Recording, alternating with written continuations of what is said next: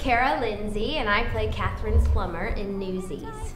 Katherine is, um, well, if you're familiar with the movie, there's this character, Bill Pullman, who, um, well, who, that's the actor's name.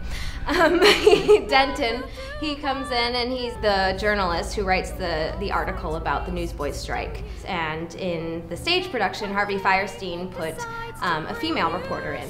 And um, so that there's a little bit of a love interest between Jack and Katherine. Newsies is definitely male based and um, a lot of guys can get you know inspired by their story and the newsboys strike but there is a lot about women's rights and um, i think that katherine is fighting for for her chance as well as the boys so it's both people fighting for um, justice and fairness. Oh my god jeremy jordan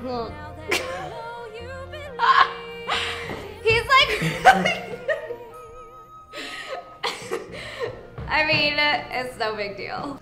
He's a big movie star now, so it's a, he's awesome, and um, he's obviously a goofball and really easy to work with, and which is great because I am too. And um, he doesn't think I'm weird because he's only weirder. I'm very excited about making my Broadway debut, and I'm very scared.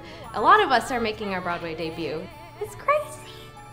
I got started in theater when I was in sixth grade. I joined um, the choir and the show choir, and actually in my middle school show choir, we sang Seize the Day, and we had this like silly choreography of like, open the gates and seize the day. And I was really, really shy, so I stood in the back and was just like, but then I started to enjoy it and I realized that I actually could kind of sing and match pitch and I just became addicted to it and I loved it and um, it just gave me the confidence I never had before. And um, I think it made me the person I am today the goofball and the social bunny, and you know, that's why I am the way I am.